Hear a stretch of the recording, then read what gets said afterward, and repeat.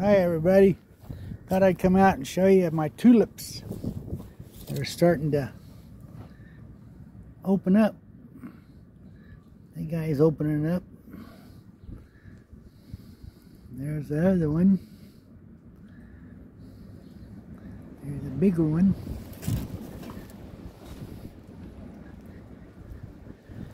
Now I noticed yesterday they were starting to open up and then it got kind of cool and they closed up again.